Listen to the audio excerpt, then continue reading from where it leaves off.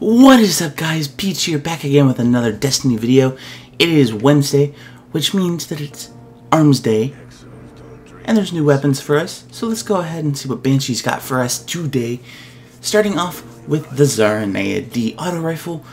So on this one we've got Relentless Tracker kills with this weapon grant enhanced motion tracker resolution for a short time. Focus fire when zoomed this weapon fires slower but causes additional damage. High caliber rounds hand loaded, and finally small bore for a little bit of stability and range. Not that great. Let's see what the other two are. So on this one we've got hot swap, we've got spray and play, high caliber rounds, speed reload, and rifled barrel. So again, no stability perks really. And finally, let's take a look at our third one. We've got partial refund, feeding frenzy, single point sling, speed reload, and rifled barrel.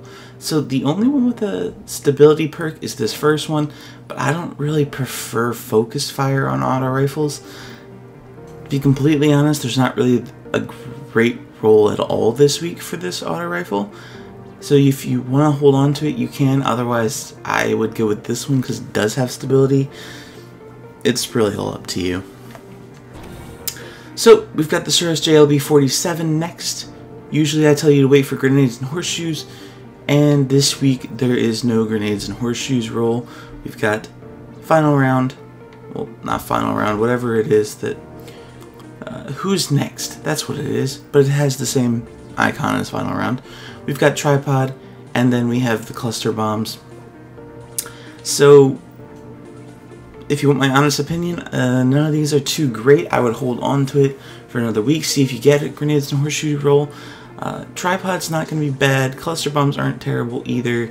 Uh, who's next isn't really that great of a perk. So I would go between the two of these. I mean, you can kind of pick and choose which one you want. And then finally, we have the Suros DIS-43 Scout Rifle this week. So we've got fitted stock, Casket Mag, which increases our magazine size but reduces our stability, partial refund, single point sling, and small bore, gain a little bit of stability and range. It's decent, not great. On the second one, we've got perfect balance, unflinching, appended magazine, speed reload, and small bore. So we've got perfect balance, unflinching, and small bore. That's not a bad combination at all.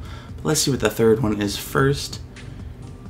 And we've got high caliber rounds, feather mag, outlaw, speed reload, and reinforced barrel. It's too bad this one doesn't have a stability perk because I would have loved it with outlaw, but the one here with unflinching, with perfect balance, and small bore isn't too bad. So this is definitely the one I would recommend with a lot of stability.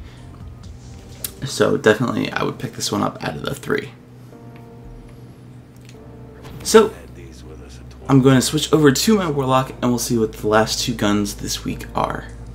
Alright, so we are back on my Warlock. So let's check out the last two weapons that Banshee has for us, starting off with the Aoife Rua D Sniper Rifle, and I just picked it up.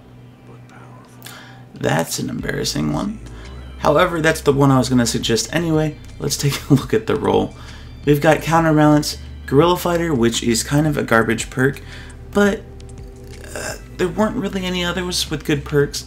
We've also got Perfect Balance, Snapshot, and Braced Frame. This is the one I was going to suggest. This is the first one.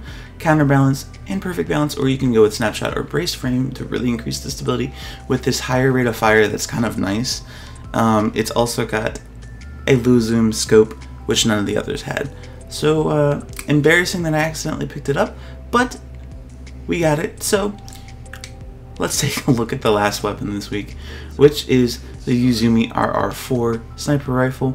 So on this one we've got Firefly, Snapshot or Hand Laid Stock, Life Support or Last Resort. It does have the Falcon sight, which is the low zoom scope for Omolon sniper rifles. So that one was a decent roll, but let's take a look at the others. On this one we've got Firefly, Snapshot or Casket Mag, and Underdog or Unflinching. No low zoom sight unfortunately. But let's take a look at the third one here. So we've got triple tap, quick draw, oiled frame, life support, last resort, and it does have the low zoom. Personally, this is the one I would choose, mainly because if I were to use the sniper rifle, it would probably be in PvE, not PvP. So triple tap's really nice. Quick draw is always nice because that increases your zooming and weapon swapping. And life support's also kind of nice. Uh, if you're into pickle and PvE, you can get a kill and it can start regenerating your health. So that's the one I would go with if you're looking for PvE. If you're looking for PvP, I would have said this one other than it doesn't have a low zoom scope. So I I don't know. The, the sec this first one's still pretty decent with Firefly Snapshot and Last Resort, and it does have the ultra light, ultra light, low zoom, but this is the one I would go with.